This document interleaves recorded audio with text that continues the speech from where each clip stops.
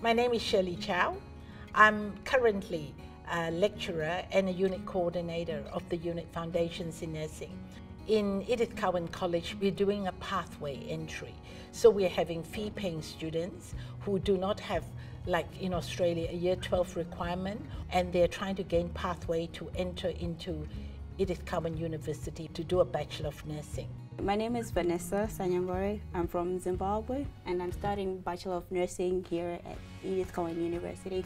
I did study Diploma of Health Science at Edith Cowan College. The lecturers at Edith Cowan College, they have this approach to education where it's interesting and it's keeps you going.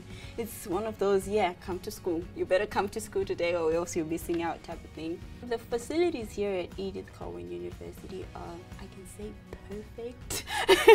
if you want to do nursing, I advise you to at Edith Cowan University.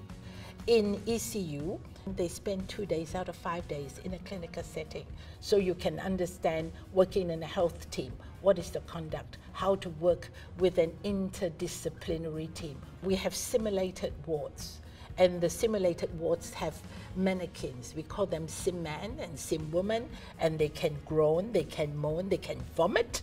I wasn't expecting it to be like this um, I expected to be in normal school. You know, one of those you just go to school, right? Okay, that's it, and go home. But now we have to do what nurses are supposed to do, but you're in class, which gives you the morale to keep on practicing and knowing what is really expected of you as a student nurse. The lecturers here at Edith Cowan University, they have real life experience, which is very helpful for students as they tend to apply that to the knowledge they give us. Here we're expected to wear our uniforms every time we come for our practicals. This teaches us to be more confident in ourselves and how to be comfortable in wearing a uniform in public and just knowing that, oh, this is my job and I'm proud of it. I really believe they have to care. If you come to a profession like nursing, it's not just an 8 to 5 job.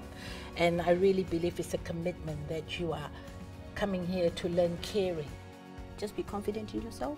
If you know what you really want to achieve in life, you will do it. Because I honestly didn't think that I would be a nurse. But here I am now. I'm at Edith Cowan University, thanks to Edith Cowan College.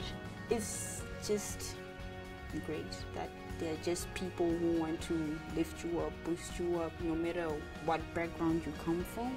So I'm sure anyone can do it.